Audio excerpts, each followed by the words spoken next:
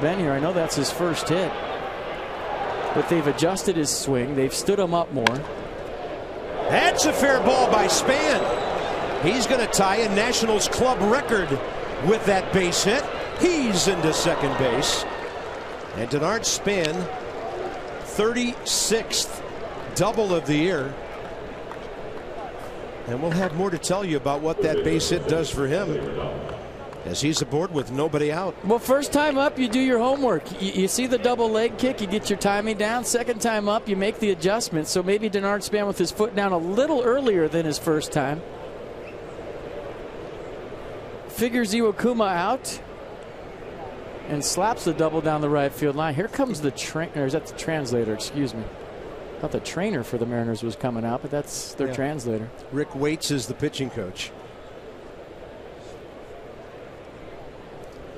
By the way, Span not only slapped the ball, but he slapped the base. So let's go STG inside the numbers and tell you what Denard just did. Tied the Nationals record for most hits in a month. Dmitri, the first to do it in 07. Cristian Guzman, the great switch hitter. Ryan Zimmerman, no surprise, he's on that list. Was that? I think that was the year he had the 30 uh, game hitting streak, right? And then Nyjer Morgan later in 2009 when he came over to our ball club and made a big impact. By the way, Span might have two or three more chances to grab that personal record. It's not a franchise record. There were some Expos who had more hits than that, but for the Nats, well done.